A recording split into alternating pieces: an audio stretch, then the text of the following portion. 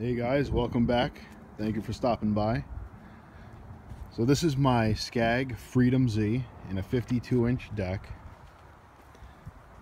Some of you guys were asking to see this. This unit right here is the Scag Freedom Z, not the professional, just the regular Freedom Z. Um, this model right here has a maximum ground speed of 8 miles an hour and forward 5 miles an hour in reverse.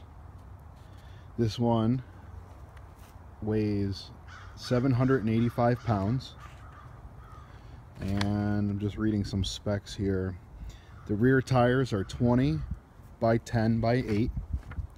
And the front tires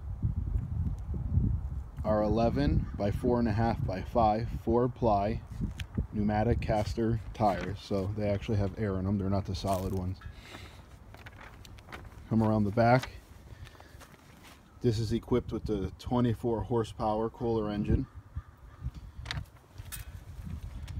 I haven't had any issues. I've cut really thick grass with this and the 24 horsepower engine uh, cuts through pretty much everything. I never had any issues at all with that. Um, this model does have a fabricated deck. It's not stamped, it's fabricated, it's very solid. The fuel tank is 6.5 gallons. It does have anti-scalp wheels in the front. It has one there, one there, and over there. So this this unit is not considered a professional unit. This is kind of like a, a heavy duty homeowner version or a light commercial. This one does come. You have the come with the uh, you have the adjustable deck. You could set your adjustments by the pin. You could pull the pin out and that sets the adjustment. To raise the deck, you press that silver pedal with your leg and the deck comes up. So if you're mowing and you see a little object in front of you, you just raise, press that the whole deck comes up in the air. You can go over it and then put put the deck back down. Uh, so you could stripe over like if there's a little rock in the way you could stripe right over the rock. You don't have to go around it. Um, this comes with the smaller tires. It's not not the bigger tires like the Pro. The Pro does go a little faster. I believe I spent around 5500 on this model this model, it's perfect for me. I was just starting off last year, started my mowing business, and uh, I needed something strong. I want something that'll last, and this gets the job done. This is, if you're just starting off, this is actually more than you need. You can go get something with a, a stamped deck, really, as long as you're not plowing into rocks and things that you shouldn't. You can get away with a stamped deck, but I just wanted the extra, you know, security and just, just knowing I got something that was quality. It does come with the ROPS bar, which is nice. The rollover protection system. However, this bar doesn't fold down. So if you're going under tree limbs and things like that, you can't fold it down. So it will get stuck on the trees, which as long as you're careful and you pay attention, it's not that big of a deal. Uh, but if you are mowing under trees, you'll probably have to take it off um, but you could. If we come around this side you'll see you have the parking brake which is right here. You have the zero turn hydrostatic controls on the left and right. It does come with an hour meter so you know when your maintenance intervals should be. You can keep track of it easier. You have the choke the electronic ignition you have the throttle control and to turn the blades on and off. The battery is actually under the left compartment here under these bolts. On the right side is where you have the fuel tank. It does have a shut-off valve for on and off. It has air filter back here, another filter right here, like a, a canister, some kind of charcoal canister or something. You do have a little cell phone holder or whatever you have to put in there.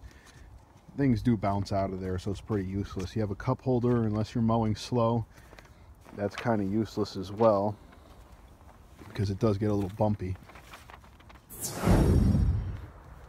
So here's another couple features. You have the seat the seat does slide up and down. It's all the way in the rearmost position right now. I'm six foot four and about 285 pounds the seat fits me pretty well and I have plenty of leg room when the seat is all the way back so this is in the rearmost position. You have the seat belt and the two armrests. The armrests do fold up and down in case you're a little stocky. Um, you can fold the seat up and down. There's a little lever in here. Press the lever, tilt the seat forward. That gives you access. You get the fans to cool off the hydro system. You can see your pulleys down there.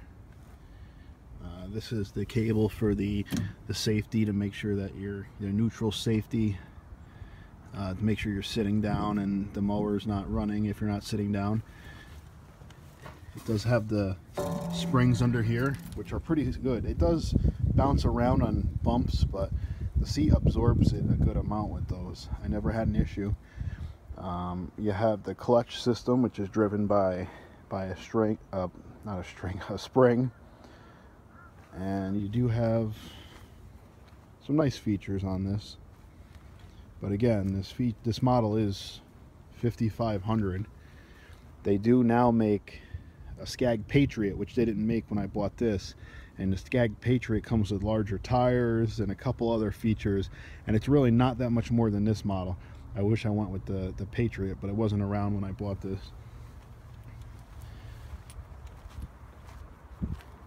So here's what it looks like from farther away. Some people might ask why I didn't go with the Liberty because it is cheaper. The Liberty is more of a homeowner's use model. Uh, it doesn't have the rollover protection, the ROPS bar. I definitely wanted that. I know you shouldn't be rolling your mower over, but when it's wet and you're on a hill, I mean, it is possible. So I rather go with the the added safety I have seen people roll over, you know, on the internet. There's videos, and it can happen very easily with zero turns. This is almost 800 pounds, and this is the, like one of the smallest models that they make. If you get rolled over with 800 pounds on top of you, uh, you may not get it off of you. So I went with the ROPS bar.